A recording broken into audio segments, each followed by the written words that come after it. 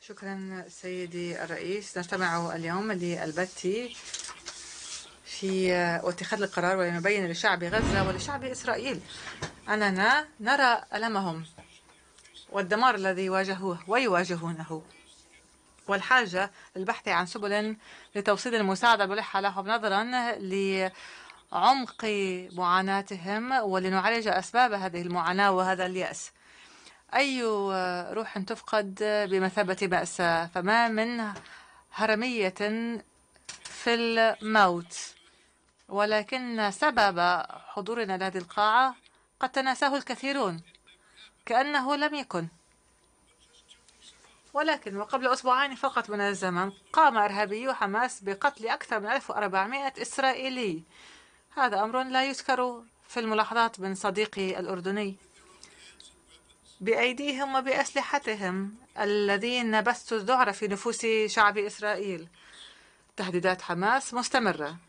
وإيران وذراعها حزب الله وآخرون هذه تهديدات مستمرة وتهدد المنطقة بأسرها. ومنذ ذلك اليوم السابع من أكتوبر أكثر من سبعة آلاف فلسطيني. وبالأمس عندما تحدثت إلى مجد أن كان العدد يفوق الخمسة آلاف. لهذا لنا أن نرى نجد الحاجة لرد سريع من هذه المنظمة لمواجهة الأزمة الإنسانية. من يعيش تحت طغيان حماس قتل ومليون منهم شردوا. هذا ما دفع بهذه الهيئة لعقد هذه الجلسة الطارئة.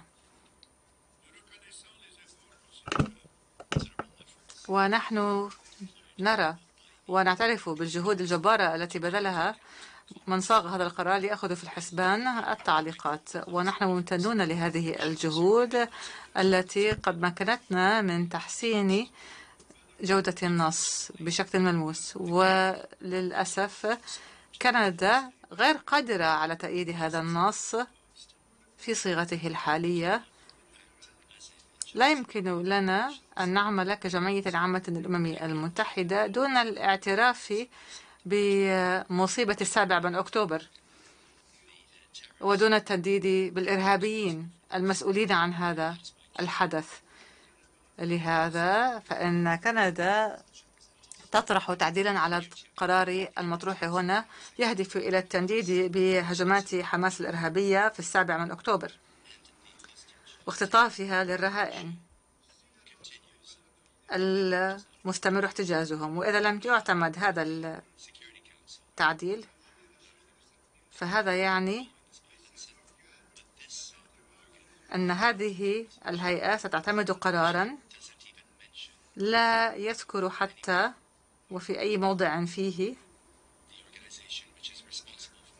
المنظمة التي ارتكبت أسوأ هجمة تاريخية إرهابية في التاريخ.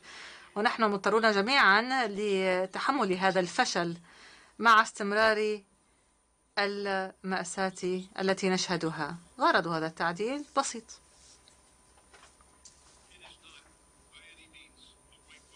لا يهدف إلى غسل صفحة أحد. الحقيقة هي الحقيقة. قتلت حماس واختطفت الأبرياء من الرجال والنساء والأطفال. ونحن في هذه الجمعية واجب علينا أن نسمي أمرين بمسمياتهما لم يذكرا في مشروع القرار. منظمة تتحمل مسؤولية هذه الأحداث وأثارها وقسوة أعمال القتل والاختطاف التي تبقى قائمة. تعديلنا يفعل ذلك. لا أكثر ولا أقل. إن أفعال منظمة إرهابية يجب أن لا يتم خلطها بالشعب الفلسطيني. ما من أحد ينكر الذعر والإرهاب الذي تقترفه حماس.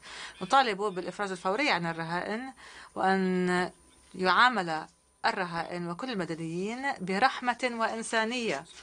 41 دولة منها أشخاص بين الرهائن.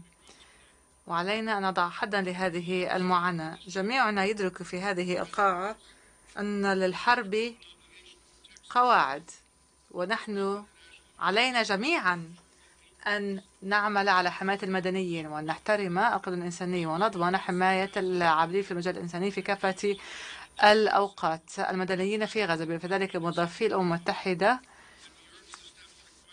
يستهدفون بشكل مأساوي وغير مقبول ونطالب بمعالجة الوضع الإنساني السيء. إن الوصول الفوري للمساعدة ودون أي عراقيل أساسي.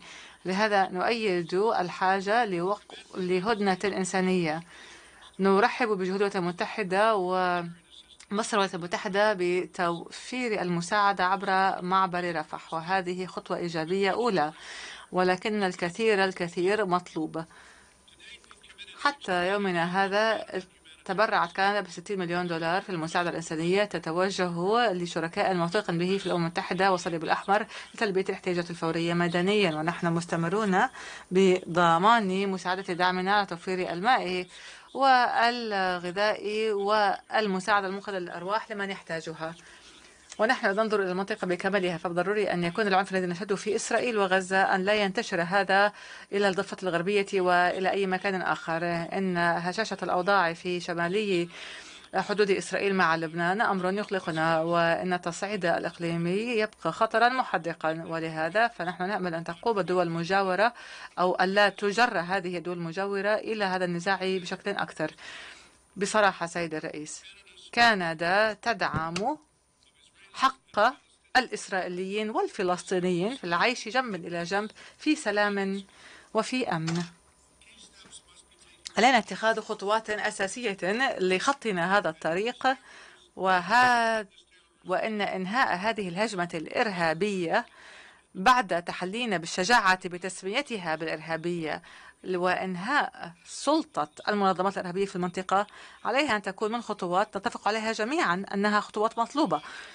ولهذا فأنني أطلب منكم جميعا دعم هذا التعديل الذي يضفي التوازن على هذا القرار ويسمي الأمور بمسمياتها. نقترح هنا إضافة وقائعية وعادلة. إذا اعتمد هذا التعديل فإنه سيسمح لكثير من دول الأعضاء بدعم النص ككل بما في ذلك. كندا نص مشروع القرار. وشكرا سيدي